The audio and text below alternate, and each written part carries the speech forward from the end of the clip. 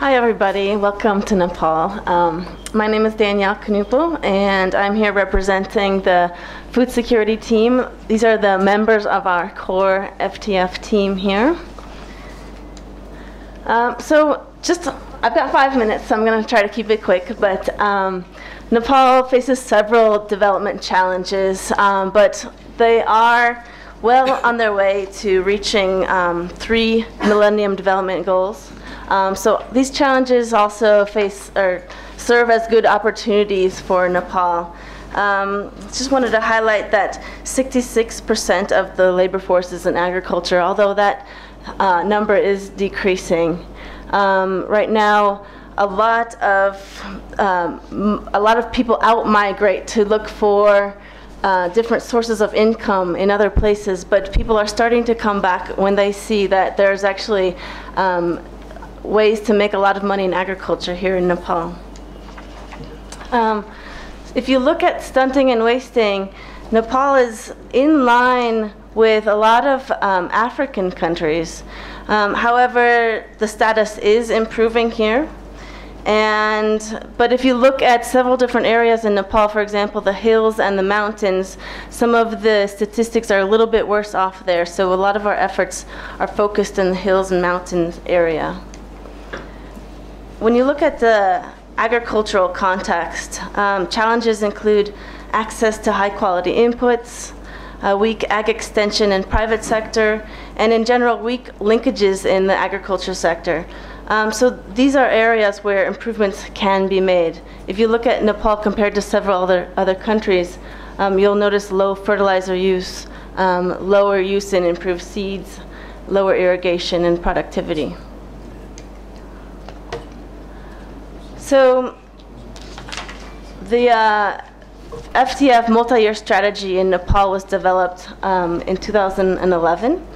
And through the strategy, we're working to, uh, to lift people out of poverty and to improve nutritional status.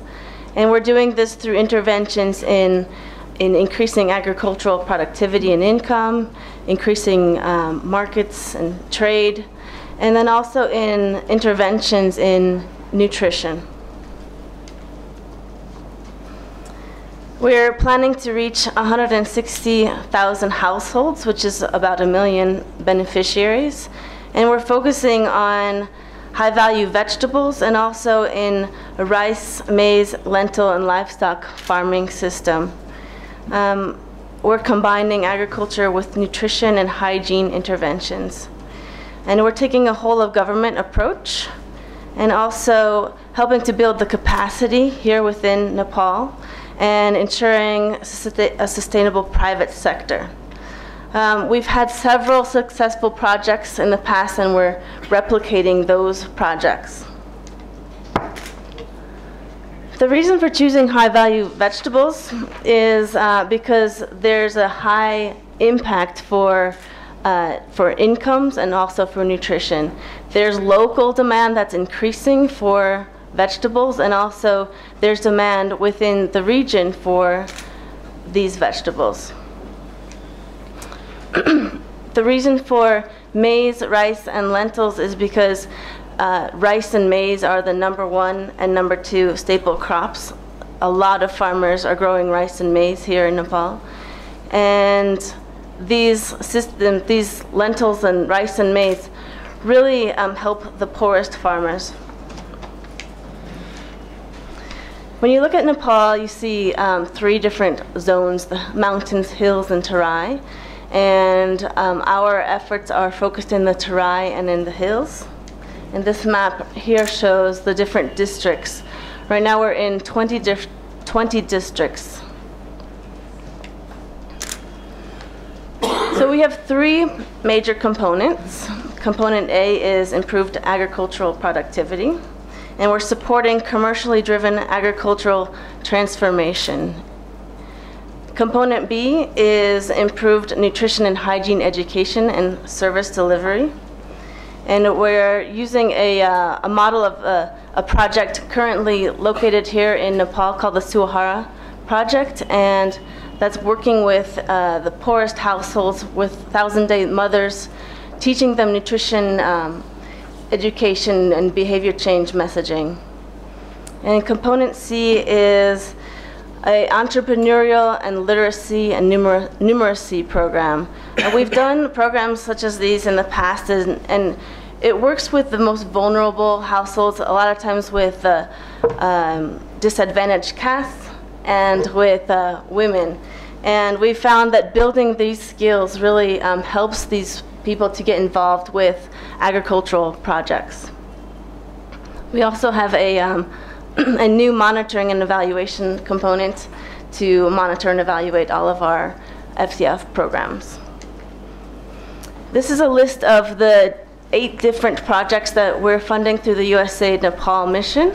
Um, I'm not going to go through each of these, but you'll see that the first four focus on ag productivity. We also have a policy, agricultural policy project, business literacy, and we support uh, the Peace Corps volunteers here in Nepal who recently came back to, to Nepal about two years ago. This is sort of a diagram of how all of our projects uh, fit into each other. Our main project is the Kisan project.